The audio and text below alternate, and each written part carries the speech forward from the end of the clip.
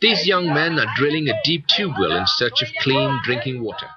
But these days, the wells are producing more than just clean water. They're also a source of the deadly metal, arsenic. This hand pump, which in Bangladesh is called a tube well, was actively promoted by international aid agencies and the government for the past 20 years. In a country where millions of people die due to waterborne diseases, this was seen as a permanent solution to the drinking water problem. Its water is bacteria-free, is odorless, colorless, and tastes normal.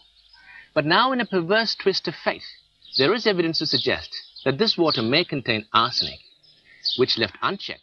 In its early stages, it can be reversed by drinking clean water and eating good food. But in its later stages, it can lead to cancer and death. Arsenic keratin বলে একটা জিনিস আছে একশো বছর আগে diagnosis করা হয়েছে যে arsenic Bibi Fatima is 11 years old and has not known life outside of this village. So she's exhibiting the classic symptoms of uh, yes arsenic this poisoning. we see the melanosis is there clearly visible yes Her 13-year-old sister, Amina, is also affected. And so is Mum. The authorities are painting a different picture.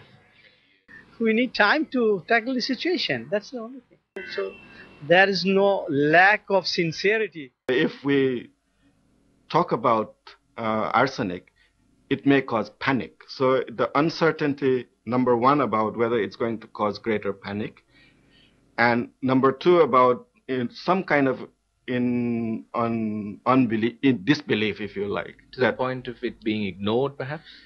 Uh, not ignored, but not taken as seriously as it deserves. In a country that has been victim to more than its fair share of natural disasters, this is yet another calamity that cannot be ignored. Otherwise, we may witness the slow death of a nation.